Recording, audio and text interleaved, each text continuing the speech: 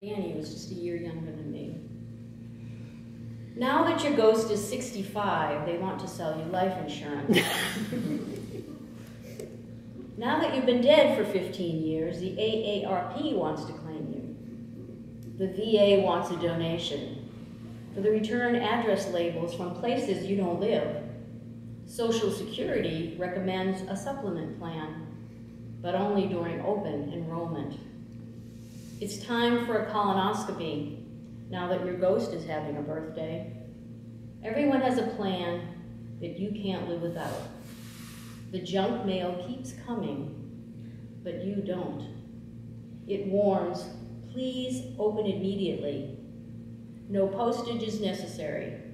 This is your final notice.